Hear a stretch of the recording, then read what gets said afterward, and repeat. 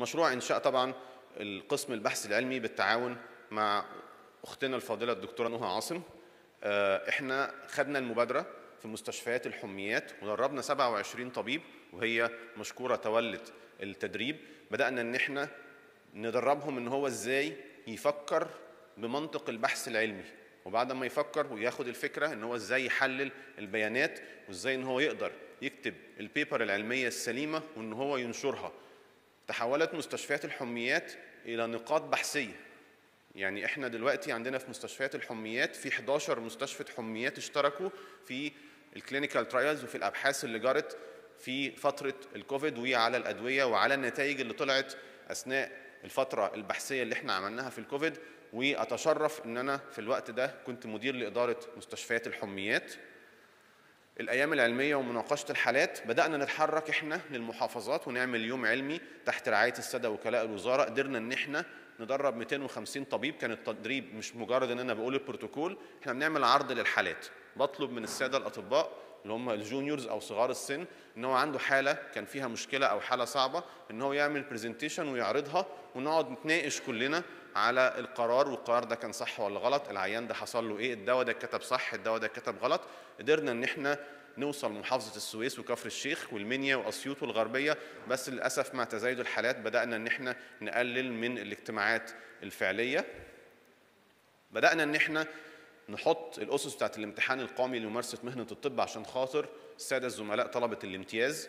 إحنا عندنا حطينا 30 امتحان تجريبي كل امتحان فيه 100 سؤال يعني وصلنا إلى 3000 سؤال في تخصصات البطنة والأطفال والجراحة والنساء والتوليد وطب الطوارئ.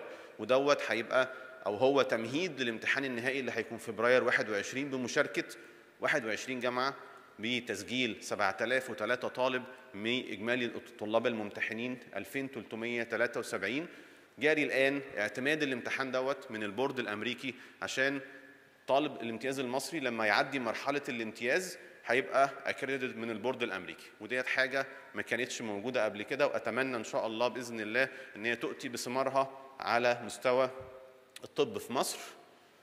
في حاجة طبعا منصة التعليم الإلكتروني.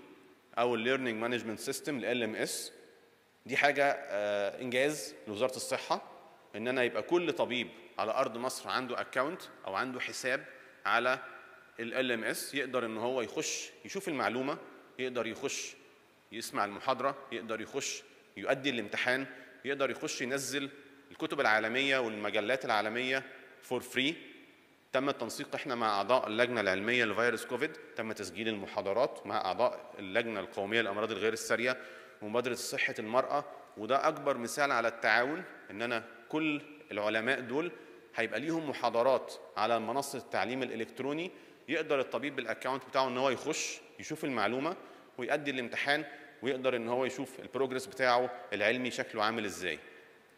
بدأنا بالفعل عملنا التجربة التجربة الأولى تم إشراك 100 طبيب. 100 طبيب دول كانوا بيتلقوا دورة التدريب على الرعاية المركزة.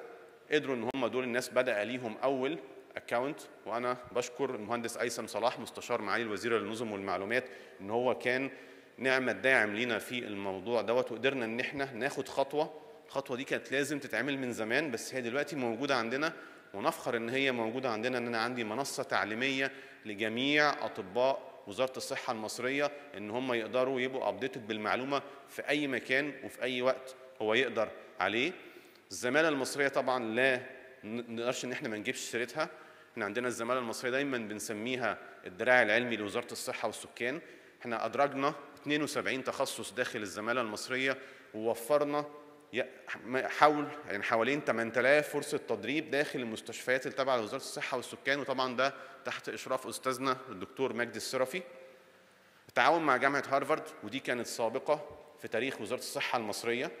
قدرنا إن إحنا نخرج أول دفعتين واحتفلنا بيهم في ال TOT اللي هو التدريب المدرب وأساسيات البحث العلمي.